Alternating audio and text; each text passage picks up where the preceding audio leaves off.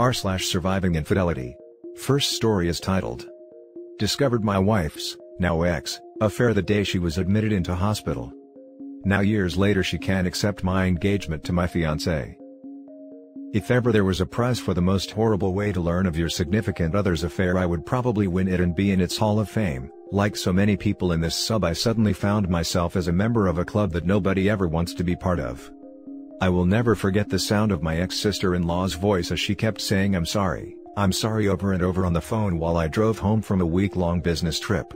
I was confused and had absolutely no idea what she meant but only after I managed to calm her down somewhat did she inform me that my wife was in hospital and that I needed to hurry home. My mind went into overdrive as I tried to get more information as well as not crash while I began speeding to get there faster.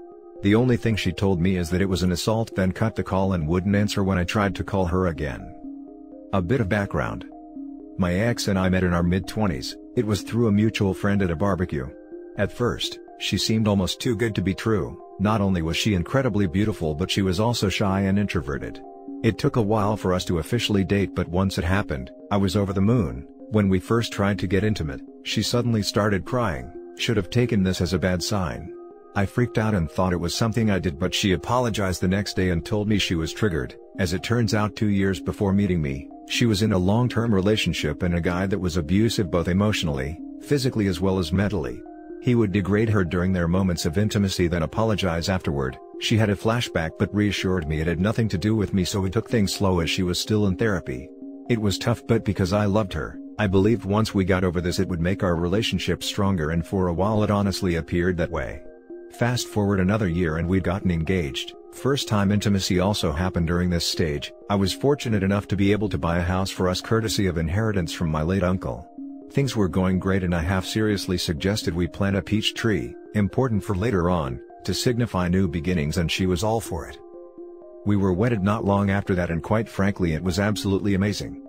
Of course, we had our normal ups and downs like every married couple but I considered us luckier because she always made it a point to never go to bed upset with each other and she would always point out gently if I did anything to upset her. Sometime later life basically happened and I was promoted at my job, it meant more pay but it also meant I would be traveling more for work conferences and business meetings. I noticed she had been getting down a lot more and wasn't being as intimate as before, she would keep her phone close to her and even stopped gently addressing things that upset her. I tried to talk to her about it but she assured me that she was fine and this was a phase she was going through and having no reason to not trust her I let it go. She would sometimes go to her sister's place and spend the night telling me she just needed a bit of girl time with her sister. The day I got that fateful phone call was the day she was meant to be keeping her sister company again. I remember rushing into the hospital barely breathing and frantically asking about my wife when world's most understanding and patient police officer sat me down to explain what happened. He told me he was a friend of my sister-in-law and he happened to respond to a domestic disturbance call, he arrived on the scene to find a couple fighting. The supposed boyfriend was on top of the female punching her and she was screaming trying to scratch him, this didn't make any sense to me because 1. This had nothing to do with my wife because we're married and 2. Literally everyone who knew my wife knew she wouldn't do that. He gave me a knowing look and placed his hand on my shoulder then told me to be very calm because said girlfriend was actually my wife.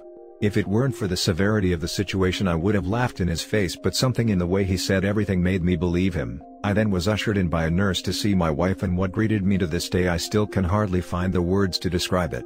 I just stood there for what seemed like an eternity then a doctor came in and explained her injuries to me. The jaw was slightly fractured, her left eye was completely swollen shut and had massive bruising covering half of her face, as well as three broken ribs. Then the doctor dropped another bomb and told me she was pregnant, I still couldn't understand how this happened then I caught sight of her sister. She at first tried to avoid me but at the persuasion of her police officer friend she told her what she knew. It turns out my wife's ex had gotten in contact with her five months ago. He was doing this redemption pyramid step thing where he would apologize to people he has wronged in order to clear his karma. Anyone else BS meter going crazy right now? They began talking more then he convinced her to meet up for coffee and show her he was a changed man. Obviously old feelings resurfaced coupled with the fact that he appeared changed now it soon developed into an emotional affair. My wife approached her sister for advice who told her to take things slow and just get it out of her system if she needed to, which then lead to a physical affair three months later. She actually told my wife that she should at least make peace with her ex in whatever form it may be and even offered to cover for my wife once in a while. My sister-in-law was in tears at this point and kept apologizing to me saying that she didn't know about the abuse as my wife never told anyone other than me and her therapist at the time about it. I was numb, I just couldn't feel anything and was absolutely dumbfounded by my wife's actions. When my wife finally woke up, I was there and she burst into tears upon seeing me.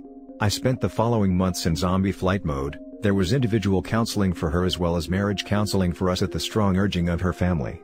In counseling she was surprisingly forthcoming about how it happened and how she absolutely hated herself for causing me pain. She mentioned how at one point on her way home from his place she actually fantasized about driving into the river because she smelled like him and didn't want his scent to corrupt me, however that made sense. She said she then tried to end it but was too weak and only after learning that she was pregnant that it actually woke her up and made her realize that any further contact with this man was toxic to not only her but the unborn child as well hence want to end things in person for good when he snapped on her. She became a shell of herself and developed a phobia for any other males but me, she one point she couldn't even use the bathroom at night unless I was holding her hand, sad, right? After the baby was born, son by the way, we got a paternity test and he was mine. But the more time I spent with her the more I realized I didn't hate my wife, I actually loathed her. I couldn't see the woman I married but instead saw his leftovers each time I looked at her. I decided to leave because I was afraid I'd do something I'd regret and be exactly like her abusive ex. She begged me not to leave and even made the ridiculous offer of giving me a hall pass as well as slapping her if I wanted to. I knew at this point I had to get out. She was actually very generous during the divorce, she moved back into her parents and signed a very well thought out co-parenting plan issued by the courts. Moving forward three years later and I meet my now fiancé by chance, I was in a bookstore with a buddy of mine and we were discussing Egyptian mythology when this beautiful woman approached me to correct me on my pronunciations of the Egyptian gods and cities. Needless to say, immensely impressed by not only her understanding but also by the fact that she is Egyptian herself. We exchanged numbers which eventually lead us to dating. When I finally proposed to her it was actually in front of the preach tree I had planted years ago. I got down on one knee but before I got my answer she ran into the house then came out with a ring as well. Turns out she was actually planning on proposing herself because she was madly in love with me and she just didn't want any other woman to have me. My son in all his sweet childlike innocence told his mother what happened because he was present when it happened. My ex literally showed up that night in the rain yelling about how could I propose to her my fiancé, in front of our tree and that this isn't the end of us. I am completely exhausted at this point, I cannot go no contact because she is the mother of my child but she is basically harassing me and my fiancé. How do I convince her to move on, to get over her fear of men and not force me to get a restraining order? Sorry it was long but I am really desperate. Edit, wanted to ask a question to the insightful women here, Something that still bugs me to this day is the fact that she even made time for her ex who took pleasure in destroying her only for her to suffer a much worse fate. Is it normal for the abused to want the attention of the abuser even if she might hate him? Something my ex said once. Edit 2, forget to add this in the original post, when my fiancée presented me with the ring which she was gonna use to propose to me she had an engraving on the inner band which states to my pharaoh. Damn I love this woman. Now for the top comments. When planning the wedding, keep all details from your son. Set the wedding date for a weekend that he is with you and make it a surprise for him. I like this idea. It worked for a friend of mine in a similar situation. By the time the ex found out they were married, it was too late to ruin it. Yes, and I can imagine the ex-evil wife now trying to use their son as a way of finding out info. Poor child. Grey Rock Strategy. Don't communicate about anything other than son. Don't get sucked into other discussion. It's not your place to convince her of anything. This. I've co-parented somewhat successfully with my ex, wayward spouse, for seven years now. The last time we actually spoke more than a few words in person was in mandatory mediation for divorce proceedings and we argued so badly the counselor cut the session short and sent us our separate ways. We communicate only when necessary and only directly pertaining to our son. It's effective, but of course requires participation of both parties. Don't try to convince her of anything, don't even have a real conversation with her. Limit your communication to only the absolutely essential information pertaining to your son, as in I'm here to pick him up and only medical slash educational relevant topics when necessary. It's important to keep the peace for the sake of your son. I don't know if this matters at all but for what it's worth I have some experience in this arena. I'm 32F engaged to a wonderful man after a 9-year marriage that ended in divorce. My ex was a basket case who tried to play on my emotions and he only backed off when I established clear boundaries. It was hard to do at first because I was afraid of hurting him but ultimately the defined relationship helped him move on. Thank you for sharing. I used to wonder what was so fascinating about being with a man who enjoyed putting bruises on her body and fracturing her bones as compared to me giving her coffee in bed with a kiss on the forehead. If ever there was a way to completely emasculate a man and ruin his confidence this was clearly it and she went above and beyond for it. Though she still apologizes to this day it still doesn't change what she did.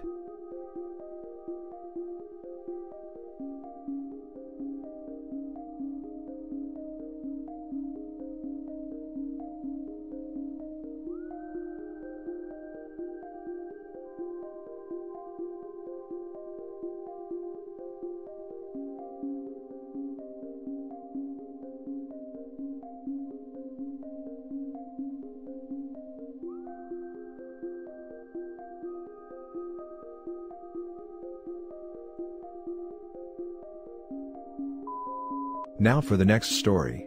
Talked with the wife of the person my wife cheated on me with.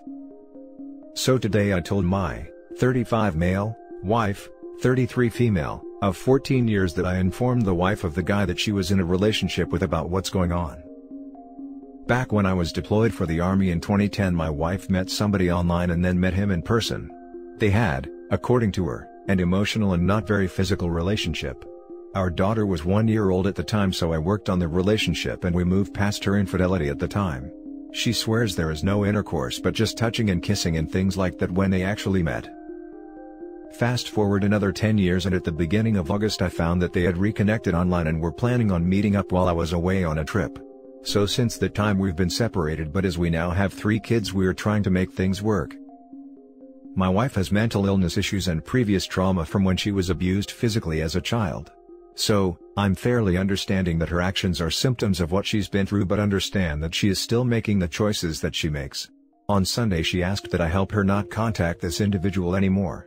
I've been supportive and helpful so that she can get to a good mental state so that both of us can then decide whether or not we want to continue our relationship or get a divorce. I was reading some of the posts on this sub and saw a lot of comments on letting the other party know what's taking place.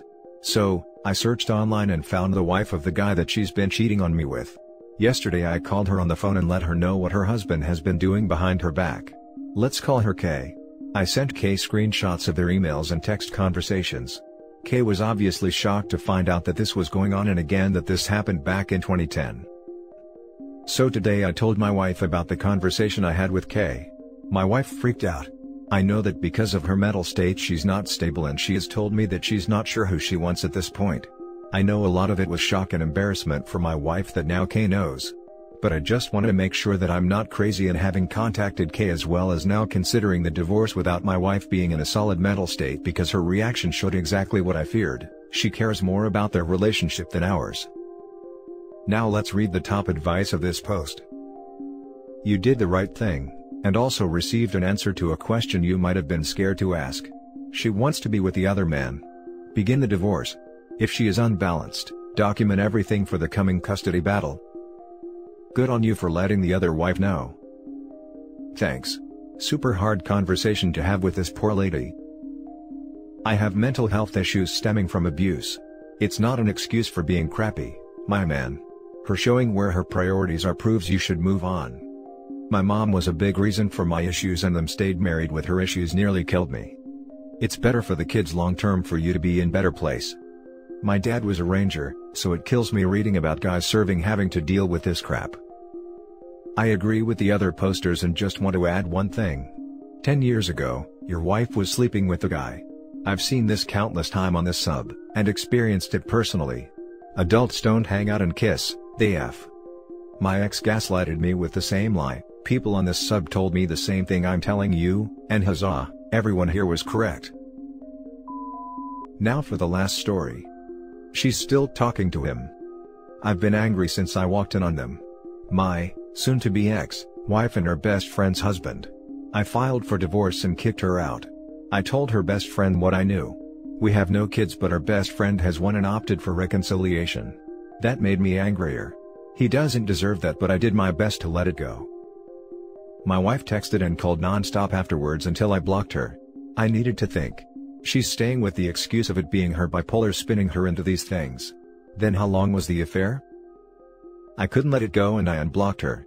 I agreed to drop off some of her things and talk. I get there and she's sorry. She tries to sleep with me but I wasn't going to play into that. She's telling me she lost her life and is sorry. She has no one now. I start to feel bad for her. I ask her how long did it go on for?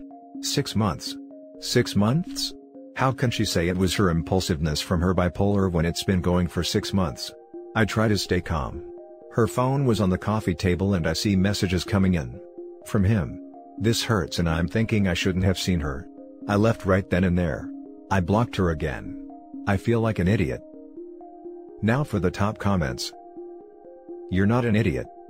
But make sure his wife knows that he's still texting your soon-to-be ex-wife. If other man's wife thinks they're trying to reconcile, that crap's gotta stop. This is good advice and the right thing to do. As much as I want to wash my hands of the whole thing, I sent the AP's wife a text. She didn't respond but I did my part.